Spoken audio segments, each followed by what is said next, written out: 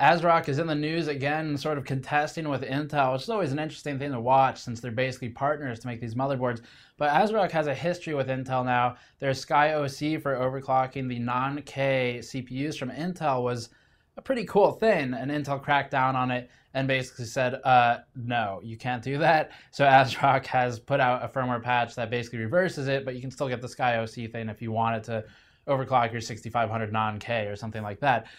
Now, there's some news for Broadwell E. So Broadwell E is replacing Haswell E. That is the next Extreme Series Intel chip. It will be on the successor to the X99 platform, whatever's championing that.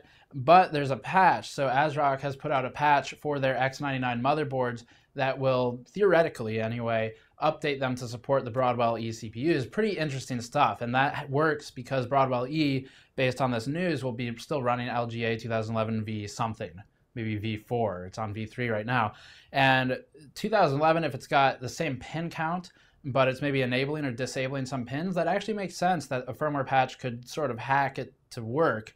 Because with these sockets, AMD and Intel alike, there are pins that are actually unused. And in theory, and this is what Intel is doing, I think, in theory, the next architecture could say, you know, let's change some of the way these pins work. So let's draw from this one instead or whatever. So that is something that could actually work out. And you can download the patch now. It doesn't really do a whole lot for you until Broadwell E comes out, certainly this year, especially now that we've seen this news from ASRock.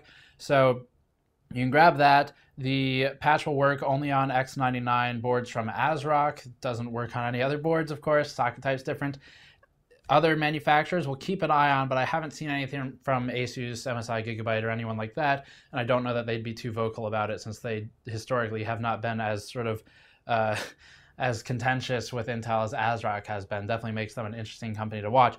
So that is the news. In terms of Broadwell E itself, I'll just recap this quickly for you. The i7-6950X, that is the Extreme Series Broadwell E processor. That will have 10 cores and 20 threads, according directly to ASRock. And then other specs, it would be 25 megabytes cache, the 6900K, 8 cores, 16 threads. So both of these are hyper threaded. 20 megabyte cache on that one. The 6850K and the 6800K alike will be 6 cores, 12 threads, hyper threaded again. And both of those have 15 megabytes of cache. They'll likely just have a different clock rate, but we don't have final numbers on that yet. So that's all the info for Broadwell E that's available right now and for the patching of the motherboards. If you like this type of coverage, as always, link in the description below for more information. You hit the Patreon link, the post video helps out directly. Thank you for watching. I'll see you all next time.